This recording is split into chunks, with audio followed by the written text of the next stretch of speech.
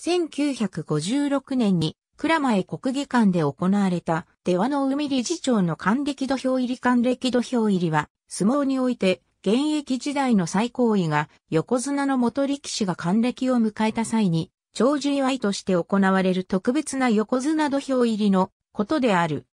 大相撲において現役時代の最高位が横綱の元力士が還暦を迎える際に行われる特別な土俵入りで1937年2月6日に立山峰上門が上野西洋圏で開催したのが始まりである。開催場所は還暦を迎えた際に日本相撲協会に親方として在籍していれば、両国国技館で行われることが多いが、退職していれば、近隣のホテルなどで行われる。立ち持ち、梅雨払いも、かつての弟子や現役、引退後問わず後輩横綱が務めることが多い。還暦土俵入りの場合は、通常の横綱土俵入りで用いられるものとは別に、特別に制作された赤い綱を使用する。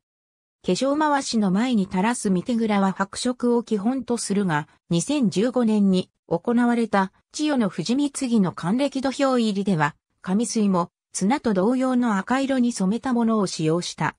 還暦土俵入りを行うには、現役時代のような健康体でなければならず、存命でも病気などを理由に一部所作を省略したり、還暦土俵入りを辞退したこともある。